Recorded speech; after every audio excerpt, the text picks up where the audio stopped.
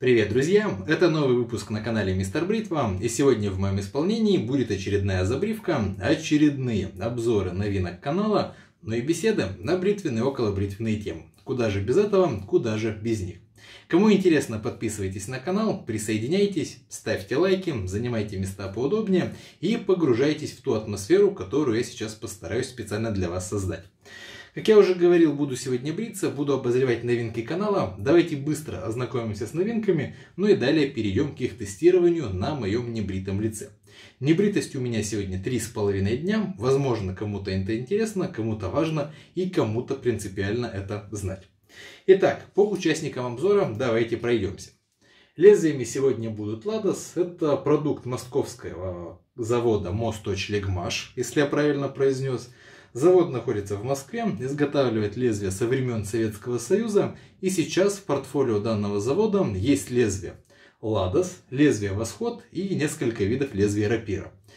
Помимо этого, насколько я знаю, завод изготавливает для иностранных рынков сбыта э, лезвия под названием Sharp Star, ну или что-то в этом роде, и ряд одноразовых станков и Т-образных безопасных бритвенных инструментов. В общем, более-менее известная компания. Если с восходом и рапирой у меня не всегда гладко, то Ладос являются любимыми лезвиями данного завода. Они агрессивные, они достаточно универсальные, стоят копейки. В общем, ребят, у лезвий много плюсов, и сегодня ими буду бриться и показывать вам их в работе на своем лице. Лезвие сегодня будет работать в связке с советским косорезом. Это станочек, который на канале показан был неоднократно. Сегодня рука потянулась именно к нему, поэтому давайте сегодня им побреюсь. Расскажу про рабочие характеристики станка, ну и узнаем, насколько хороша связка Ладоса и советского станка и насколько эта связка обеспечит мне хорошее, гладкое, эффективное, безопасное бритье. Станочек Алмаз. Неоднократно его показывал, неоднократно мы с вами его обсуждали. Выпускался в Советском Союзе с 1950-х по 1970-е годы.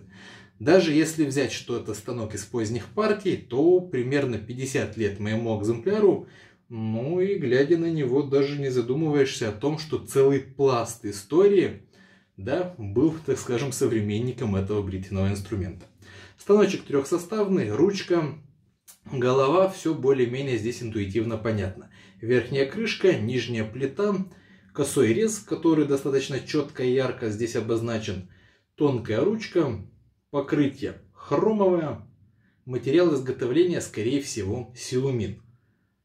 Станочки подобного формата в Советском Союзе выпускались в нескольких экземплярах, ну, я имею в виду нескольких, так скажем, внешних составляющих. Были с пластиковыми ручками, были с металлическими, назывались и Агат, и Алмаз, и Тонус, и Турист. В общем, ребят, станков было много. Сегодня одна из вариаций советского косореза будет у меня работать с московскими лезвиями Ладос, который я уже обозначил. После бритья буду пользоваться лосьоном польского пошиба. Этот лосьон я купил э, и получил примерно в начале августа текущего года, но добрался до него только сейчас, только спустя 4 месяца. Вообще на канале есть аксессуары, которые там были распакованы в прошлом году, и за год я до них так и не сумел добраться. Ну, ребят, не всегда успеваю обозреть то либо иное, не всегда могу найти это дома. Знаете, да, что я переезжал, поэтому еще все у меня упаковано где-то в коробках, где-то в шкафах и не всегда попадается в поле моего зрения.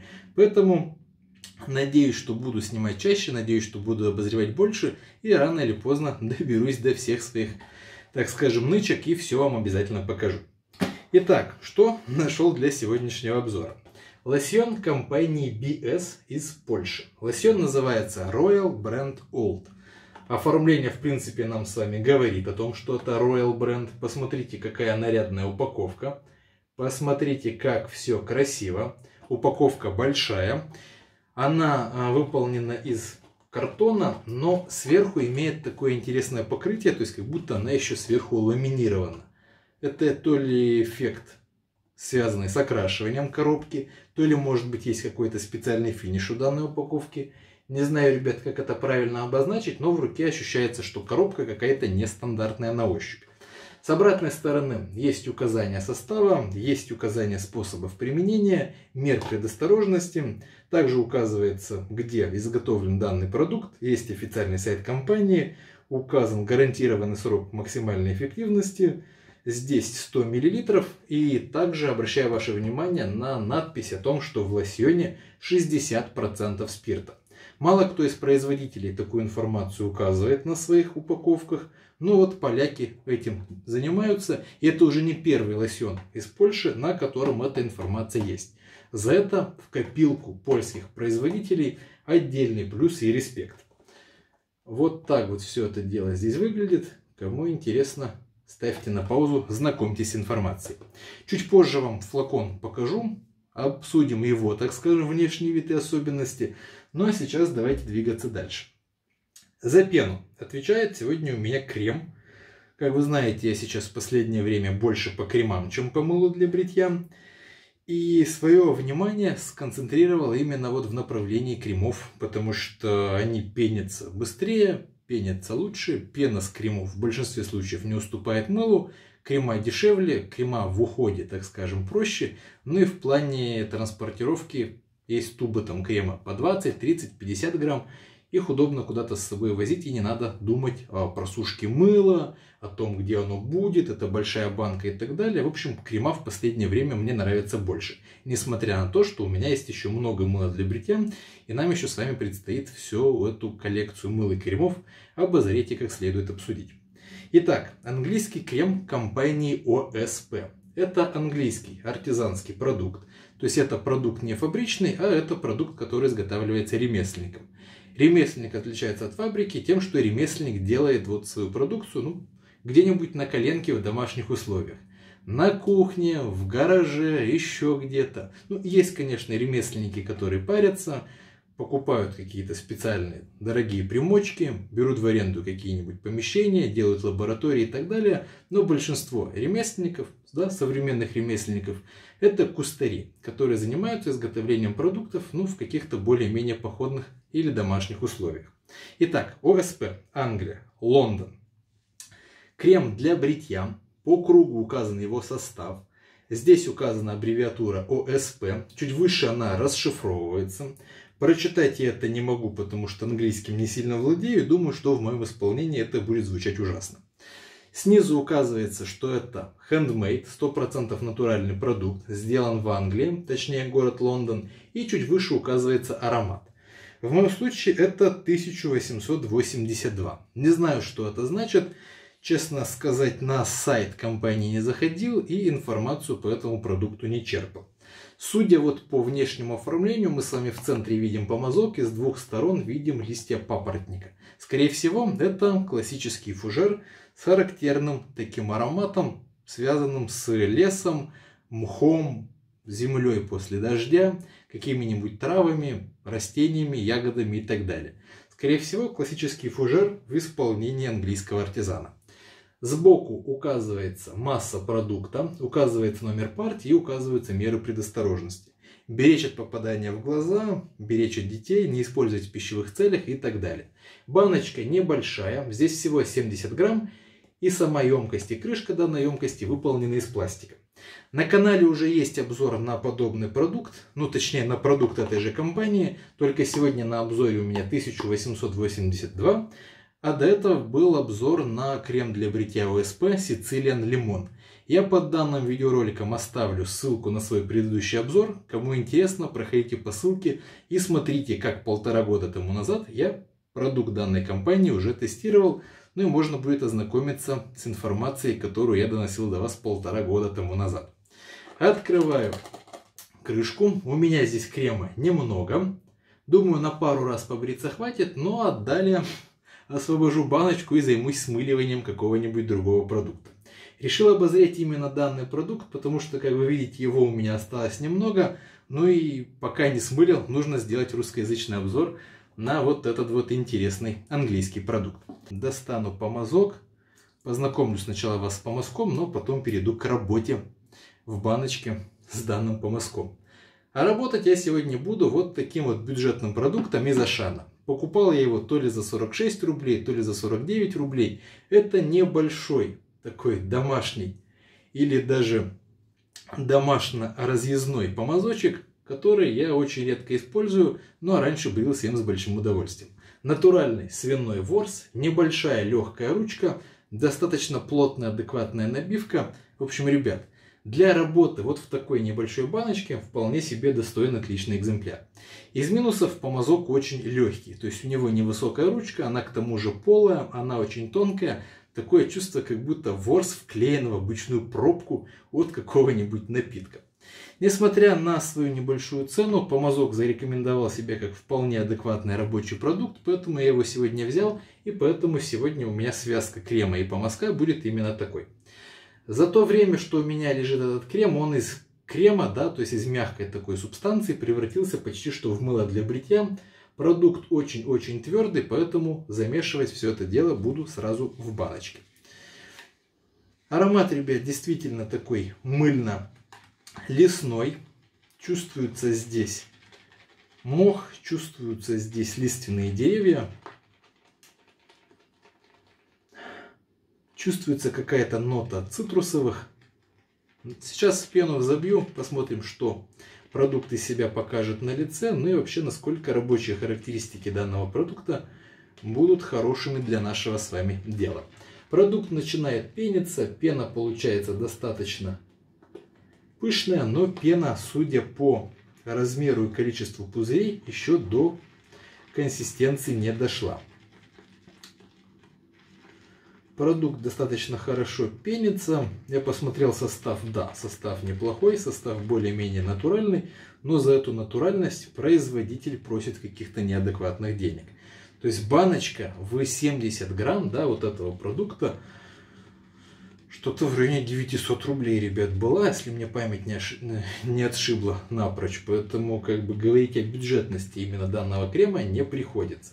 Но насколько я помню, смыли в такую вот баночку сицилийского лимона, я не остался под каким-то вау-эффектом, да, под каким-то сверхэмоциональным впечатлением. То есть, как бы продукт в принципе, такой средний по рабочим характеристикам, ничем особым не цепляет, и я бы назвал данного артизана проходным. То есть зацепиться здесь практически не за что. Да, английский handmade, да, интересное оформление, да, натуральный состав – но сказать, что характеристики здесь 5 звезд, и что это лучший продукт, которым я пользовался, я пока что на данный момент не могу. Продолжаю я этот продукт пенить. Пена уже начинает вылазить из баночки. Я еще сделаю небольшие круговые движения, насколько это вообще возможно, вот таким вот неудобным помазком, вот в этой вот неудобной баночке. Увлажню свое лицо и мы с вами приступим. Никуда не уходите, сейчас я к вам вернусь.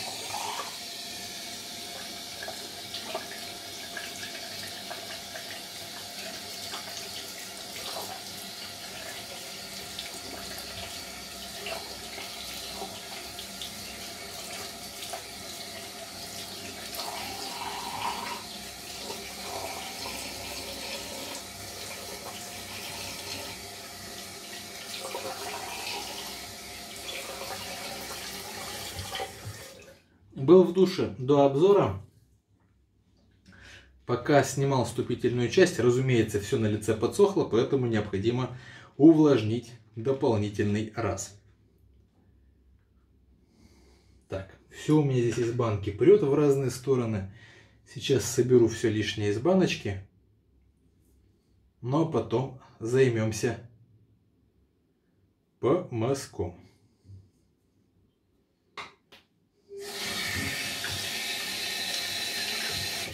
Продукт не бюджетный, поэтому в раковину выливать все не будем.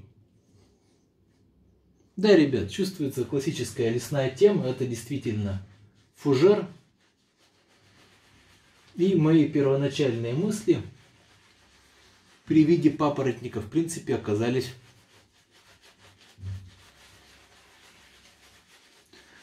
оказались актуальными и оказались в точку.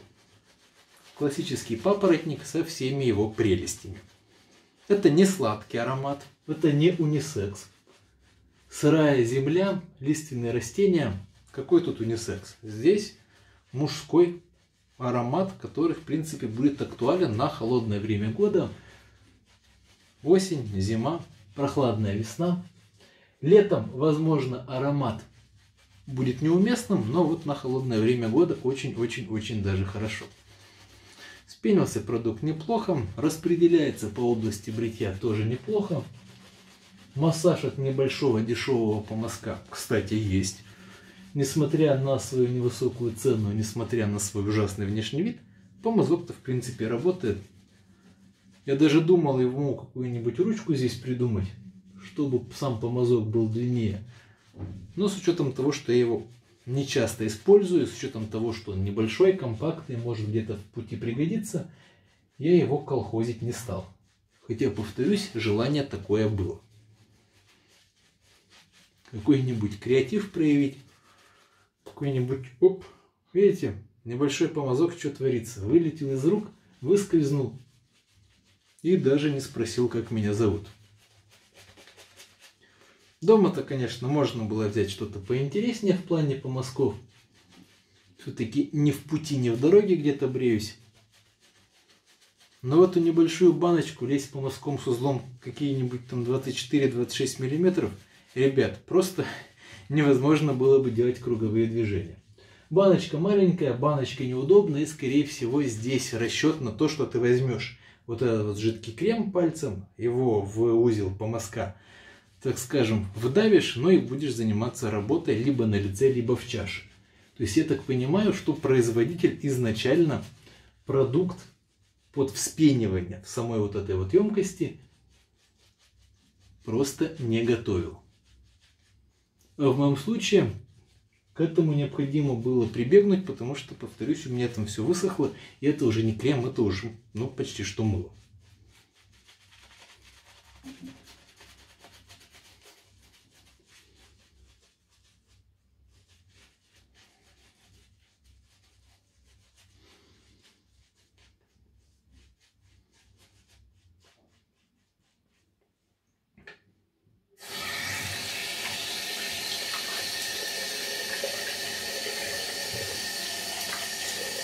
Итак, друзья, я готов к совершению первого прохода. Сегодня чего-то по времени затянулось все. Но надеюсь, что оно того стоило. Искренне верю, что бритье будет хорошим. Итак, друзья, советский косорез Алмаз, лезвие Ладос, первый проход, трехдневная щетина. Погнали! Помню, что данный косорез достаточно мягкий, деликатный в работе но при этом обладает хорошей эффективностью, хорошо интуитивно им можно работать, и где-то даже данный косорез прощает ошибки. То есть где-то надавить, где-то сделать какое-нибудь неловкое движение, им можно, он простит.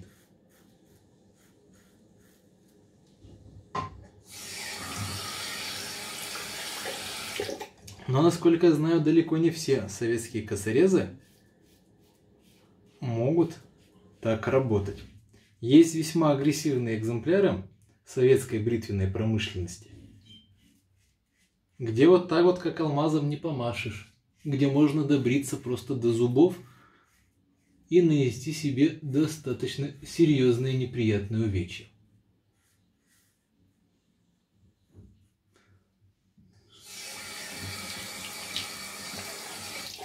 Поэтому, смотря данный обзор, помните о том, что речь сейчас идет не про все советские бритвенные станки с косым резом, а просто про модель алмаз.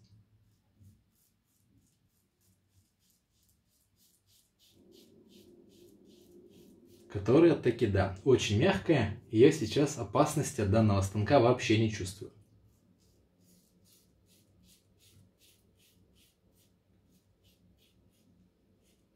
Но при этом я вижу работу станка. Она мне нравится.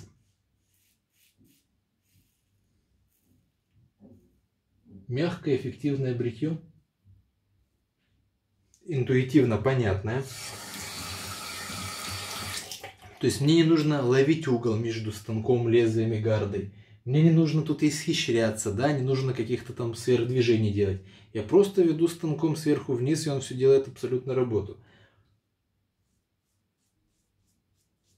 И кожу бережет, и щетину бреет. То есть здесь мягкая и эффективная работа.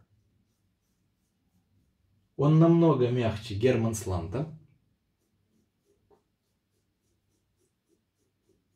И мягче, чем Меркур 37, либо Меркур 39. Но вот что касается Меркура, я помню, что я Меркуром выбриться нормально не мог.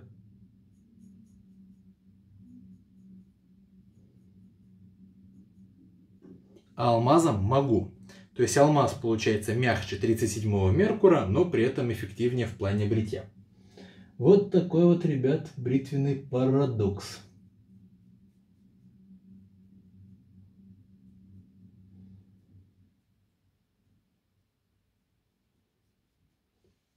Тридцать седьмой Меркур я продал несколько лет тому назад. А алмаз я не продал, я доволен этим станком, он меня удовлетворяет. Почему бы и не пользоваться им время от времени. Я сейчас быстро умоюсь, к вам вернусь, и мы будем заниматься вторым проходом. Первый проход хорош. Все на уровне, все достаточно приятно.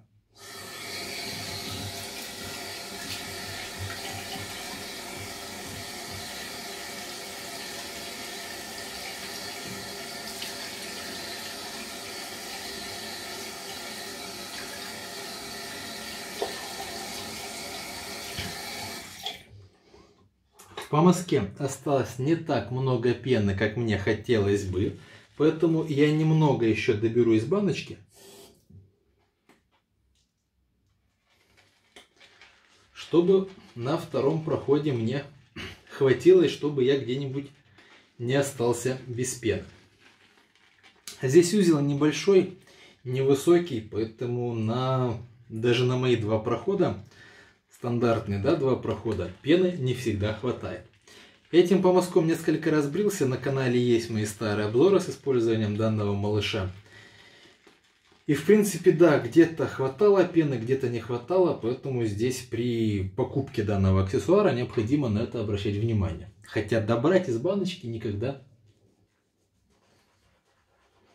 не поздно, но если вы куда-то спешите, то выбор этого помазка будет не самым оптимальным решением. Если вы находитесь дома, либо где-нибудь на даче, после баньки,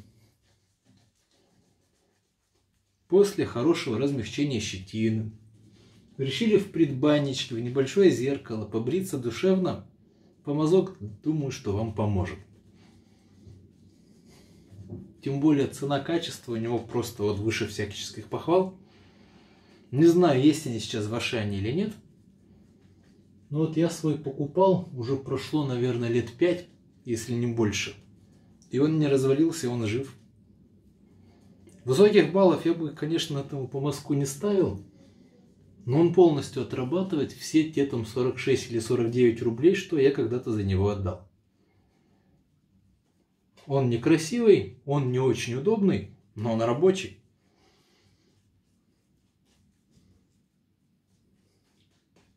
Есть наоборот продукты красивые, дорогие и нерабочие. А толку с того, что помазок красивый и большой, если он не работает. Или если он работает так, как вам неохота. Вот тут кабанчик свое дело знает и помассирует где нужно. И пену взобьет, и щетину приподнимет. Ребят, 46-49 рублей вещь.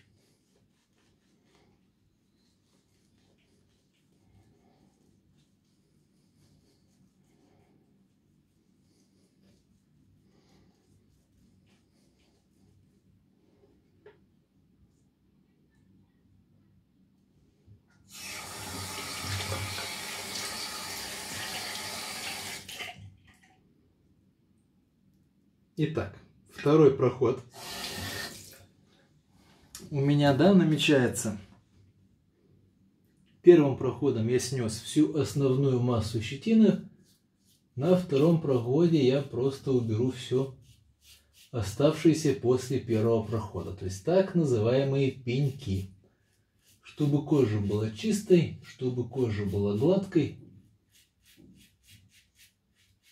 И чтобы я свою любимую не царапал и не довел до раздражения.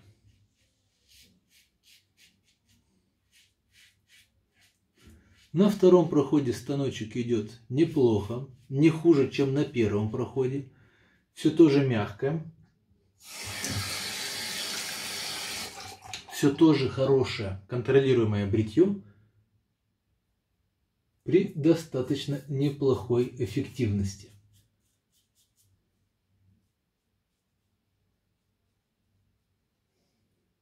То есть станочками ведешь, вроде на кожу большого давления не оказывает станок, не оказывает большого давления и воздействия на кожу режущая кромка лезвия. Но все неплохо контролируется и все неплохо работает. Смотришь в зеркало, понимаешь, что совсем скоро достигнешь желаемого результата.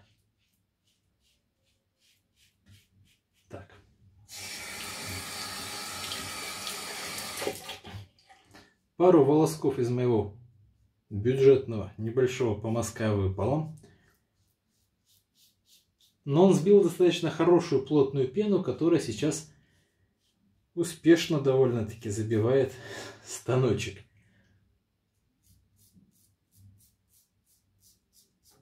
Пена вот получилась чуть гуще, и вот местами станок даже как бы в этой пене вязнет.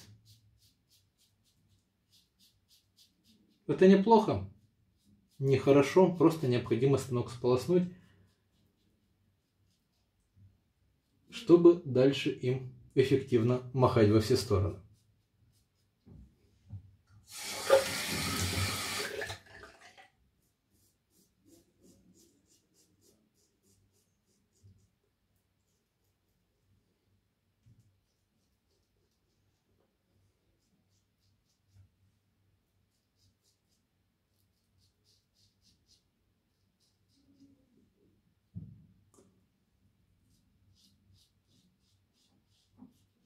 Вот сейчас в районе усов прямо чувствую кромку лезвия на своей коже, но не чувствую опасности от ее присутствия.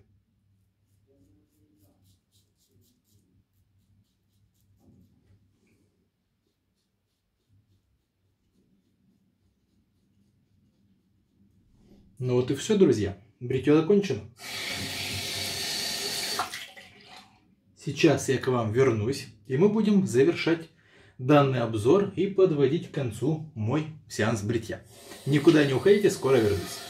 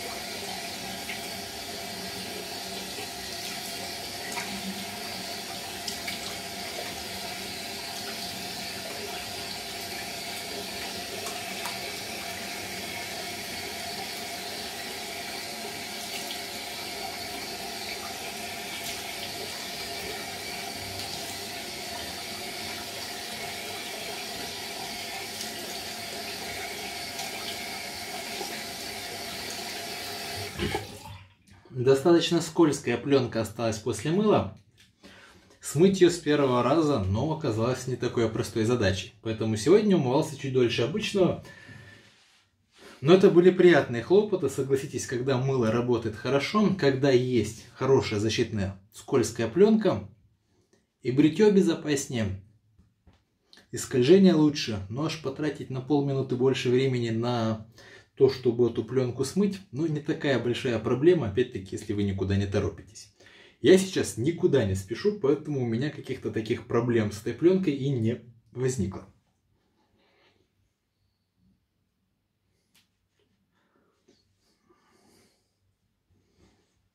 Ну, совсем другой человек. И бритье хорошее, и ощущения на коже просто непередаваемые. И сам процесс понравился. Участники обзора проявили себя, показали себя исключительно с хорошей стороны и даровали мне кайф, даровали мне приятный результат и даровали мне новые эмоции. которых порой всем нам не хватает. Да? Этим бритье различными инструментами отличается от бритья одним и тем же. То есть из какой-то рутины мы с вами делаем хобби. Поэтому меняем лосьоны, меняем лезвие, меняем станки, ну и все это дело постигаем путем тестирования на своем собственном лице. Итак, друзья, после бритья у меня сегодня будет лосьон BS Royal Brand Old. Выглядит флакон следующим образом. Это вот такой прямоугольник. Стекло, достаточно тяжелый флакон за счет того, что у него очень толстые стенки. Обратите внимание, дно, то есть дно толщиной как палец. Да и стенки, в принципе, тоже у него толстые. В общем, берешь в руки, понимаешь, что здесь стекла чуть ли не полкилограмма положили. Не понимаю, куда флакону столько стекла в этой части. Но если производитель посчитал нужным так сделать, то кто я такой, чтобы с этим производителем спорить? Оформление у коробки лосьона совпадает. То есть здесь все идентично. За исключением того, что коробка больше. Ну и на коробке все это дело, разумеется, разглядеть намного проще, чем в сжатом виде на лосьоне. Пробка пластиковая, откручиваем ее. Внутри нет никаких прокладок, никаких дополнительных элементов, просто пластиковая пробка и все. У флакона нет никаких дозаторов, хотя горлышко немного сужено, но и скорее всего в понимании, так скажем, изготовителей это и есть более-менее адекватный дозатор. Хотя я скажу сразу, что вот лосьон льется щедро и необходимо контролировать его выливание из флакона вам на ладонь. Ну, выливаю стандартно, примерно около грамма, ну, плюс-минус, конечно. Весов у меня нет, но я думаю, что примерно где-то так. Растираю в ладонях, ну и наношу на свежебритое лицо. Скажу вам сразу, что лосьон хорошо спиртовой, хорошо жгется. Но это жжение, да, очень-очень быстро проходит. То есть спирт верхний слой кожи чуть-чуть, чуть-чуть припекает. Ну, припекает он чуть-чуть, если вы побрились нормально, припекает он сильно, если вы побрились плохо и кожу травмировали. Тут же это припекание уходит и раскрывается аромат лосьона.